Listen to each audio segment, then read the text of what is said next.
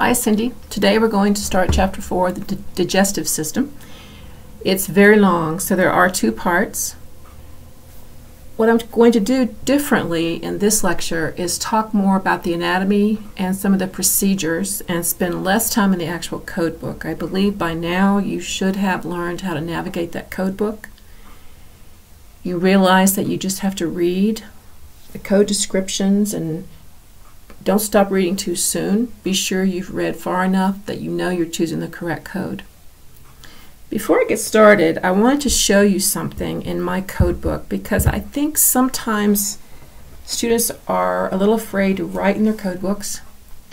And I received some feedback from a student recently and she told me how helpful it was for her to see my code book with the notes and tabs and the different things I had in there.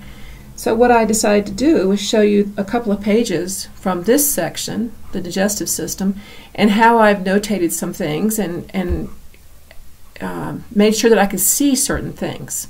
For example, these two codes, the big difference is this is the small intestine, this is the large intestine. But if you read it really quickly, you might miss that. The other thing I'm doing differently is I have the body system, the part of the body system that we're talking about in this case, uh, the intestines is in this column, and then uh, this column we have uh, Meckel's diverticulum, and down at the bottom the appendix. And then the appendix goes over, continues into the next page for a little bit, and then the colon and rectum starts. So this column would be the colon and rectum. But you see where I have uh, continued with my thought of circling a family of codes and then highlighting whatever is different between those two codes uh, I make a point of here's a single, here's a multiple. That's a very easy mistake to make. So I'll usually write somewhere beside the multiple or the single just to bring my eye to that pretty quickly. This one, the difference is without a colostomy and with a colostomy. So I wrote with a colostomy. These two codes are backbench, which is cadaver work, um, things that happen on the backside. So I have this in here. Um, that's the main thing. I just wanted you to, to see how I write in my code book.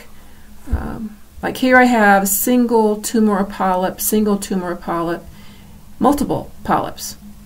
And the techniques, you have to read the description to get your techniques. But in finding your technique, you might like see hot biopsy forceps and just jump on that code when in effect two polyps were removed. So then you'd need to be selecting this code with the multiple polyps with the hot bi biopsy forceps. So just don't be afraid to write in your book. I also make a distinction. These codes are proctosigmoidoscopy. Then over here, when I get to this column, I'm starting the sigmoidoscopy. And I highlighted the definition. That's all. Just wanted to show you a little bit more about uh, not to be afraid to write in that book. Okay, let's get started. Some facts to remember. If you recall from some of our previous previous podcasts, we used the FTR acronym for facts to remember. The parts of the body that are covered under the digestive system are listed here, and they also would be those parts of the body that are red font within this digestive system section. You also would see them on the table of contents. So different ways just to remind yourself what's in this section. What I think is particularly interesting, you'll see a, a question a little bit later, when we get to the uh, abdomen, the laparoscopic aspiration of an ovarian cyst, And instead of thinking of that as a female system, it falls in the CPT book under the abdomen. So just another way to maybe even make a little note. I think I will. I think in, in my table of contents for this section, I will write ovarian cyst beside abdomen just to help us remember. Let me show you that. And you can see right here where I've written ovarian cyst here beside the abdomen, peritoneum, and omentum. Okay. So an endoscopy should always be coded as far as the scope was passed. And that means when you are reading your operative report, it's going to tell you, the surgeon is going to dictate how far he or she advanced the scope into the digestive system. There are upper and lower endoscopies. You'll see those in your code book. And they're also differentiated between whether or not they were rigid or flexible, and that's referring to the scope itself, and the approach. How did the physician get the scope into the body? An EGD is the short abbreviation for esophagogastroduodenoscopy. That is an upper GI, and it involves the examination of the esophagus, the stomach, and the upper duodenum or the jejunum. And EGDs are completed. I've given some reasons here why a physician might perform that procedure. And I also wanted to bring to your attention there is no alphabetical entry for EGD. If you go to the index, you're not going to find EGD. You have to know what EGD stands for. Esophagogastroduodenoscopy. I can't say it quickly, but I do know what it means. If you think about what, what's happening here, the scope is being advanced down the esophagus, through the stomach, into the duodenum, and it's a scope. So esophago, gastro, duodenoscopy, or EGD. And I've given you here a few guidelines around that. It is appropriate to list multiple codes if your surgical report supports that. And also remember that if a physician is doing multiple procedures at the same time, at the same session, it's appropriate to link a modifier 51. While I'm thinking of that, let me show you something else in the code book that came to my attention recently. And that is students are getting a little bit confused about the difference between these modifiers and these modifiers. These are for physician services. These are for facility services. And it says hospital outpatient use.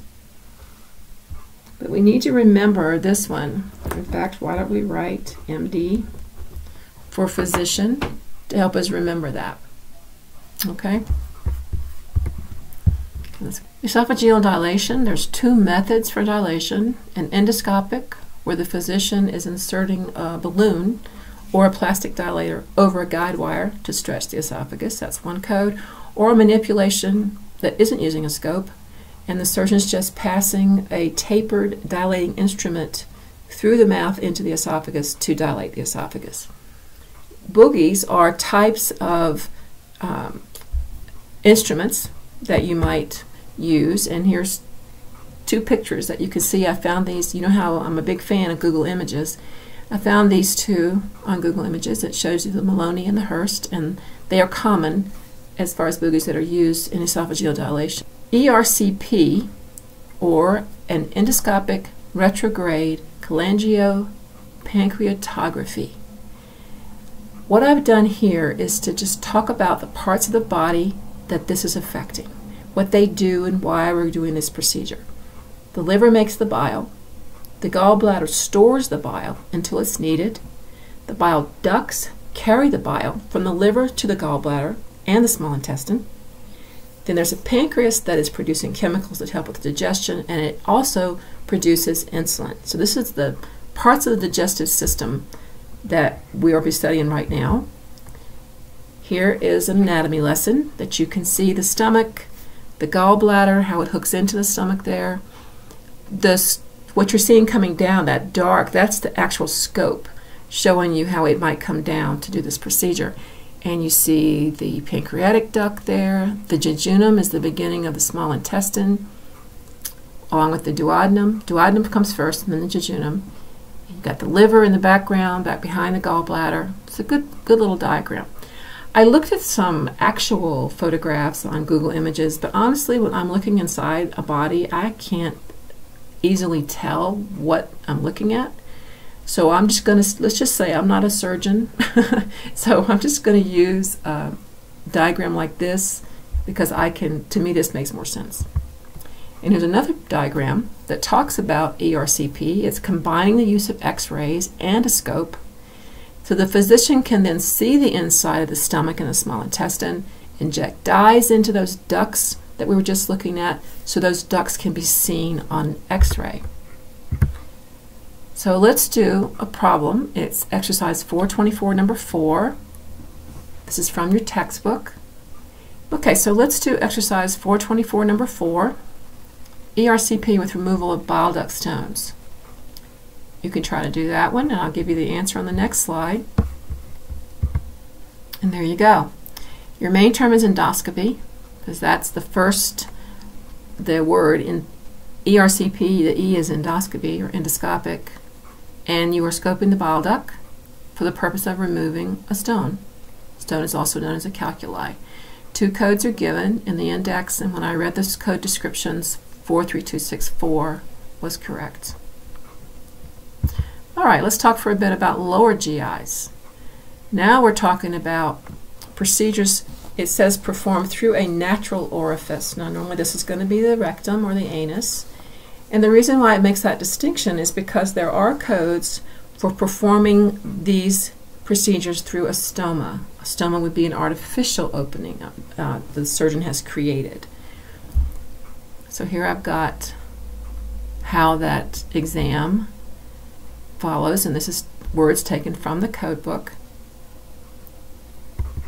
And here's an anatomy lesson where you can see the different parts of the colon, where they lie in relation to the stomach, the liver, and then you see the colonoscope would be coming in from the anus, coming in up through the sigmoid, and we just keep going.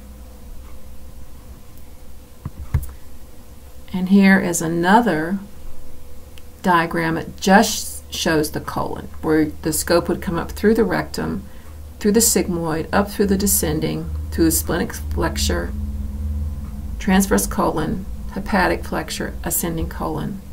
So a colonoscopy goes a lot further than a sigmoidoscopy or a proctosigmoidoscopy. Indications for a lower GI, got a couple of things there. And this is just another diagram that I pulled showing the colonoscope, which is the dark piece, going up through the bowel. The nice thing about this particular diagram, it shows what the surgeon might find during a colonoscopy. He might see diverticulitis, she might see cancer or a polyp, a flat polyp or lesion, adhesions, which would be there from previous surgeries and just how the body healed. Also, ulcerative colitis, which is a very painful condition, and appendicitis you might see because of the little appendix that's there at the end of where the scope is going. It is not unusual to have polyps on a, a normal scope, so they just watch them. I don't know anyone who hasn't had something on their colonoscopy report, so it's just something that the doctor watches and when he's in there. You, it also has in the middle here on our diagram Crohn's disease, which is another disease. He would see the inflammation and, and the uh, ulceration of the walls of the intestine. This diagram shows us the difference between a colonoscopy and a sigmoidoscopy. Where the blue is a colonoscopy, you see it goes much further than the green, which is the sigmoidoscopy. And here on the very end, going into the body, is the endoscope showing you that. So questions a coder might ask before assigning a code for an endoscopy is, was the diagnostic endoscopy performed as part of the surgical? And if so, only the surgical is coded. What was its purpose and what approach was used? So that your codes around that are going to be differentiated by your answers to these questions. Removing tumors or polyps, there are several ways and the four that our codes talk about are hot biopsy, forceps, bipolar cautery or cauterizing, the snare, and a laser. When a laser is used, the coder is going to code ablation, not amenable to removal by the other three things.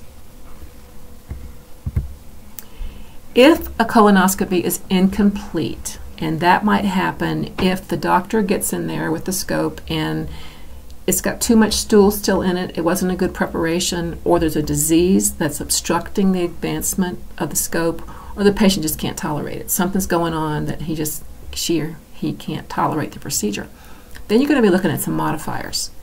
And I made a distinction here so you could see what might happen, the difference between a reduced service, meaning this scope started in, but it could not go as far as it should have gone for a colonoscopy. That would be a reduced service. A discontinued procedure might be when the physician is doing the procedure, but the patient's just not tolerating it and it just needs to stop. That would be a 53. And then the facility, in order to explain to the insurance company the charges, is going to show a modifier 73 if it's discontinued prior to anesthesia and a modifier 74 if it's discontinued after anesthesia. So be really careful when you're looking at those two groups of modifiers on the inside back cover of your code book to be sure you're choosing the correct one. I have some information here about screening colonoscopies. If you are working in a doctor's office or an ambulatory surgery center and you're working a lot with Medicare patients, you will know how to bill these as well as having software in your practice that's going to take away uh, the 45378 CPT code and then give it a G code. But you still need to know that that's going to happen so that you can get paid for that if it's a Medicare patient. Then I have some information about coding guidelines for biopsies and lesion removals. And this is telling us when a biopsy is taken and the remaining portion of the same lesion is excised, in other words, you take the biopsy, of this lesion, and then you go back in in the same session and think, you know what, I'm just going to take that whole lesion off. You're going to assign the code for the excision only. You're not going to assign the biopsy. And this language, you would get that from reading the operative report and the pathology report that the doctor and the hospital is going to give you, or the facility is going to give you. Likewise, if one lesion is biopsied and a different lesion is excised, you're going to assign both the biopsy and a code for the excision. Now, this is applicable unless the CPT code description includes the phrase with or without biopsy. You really have to read your code descriptions to be sure you're choosing the right one. If it says that, if it says with or without biopsy, you're only going to code the excision. It would be appropriate to append the biopsy code with a modifier 59 to show that you've got two different procedures in the same operative session where you've got one lesion biopsied and a different lesion excised. That's a modifier 59. The coder is going to get this information from the operative report and the pathology report.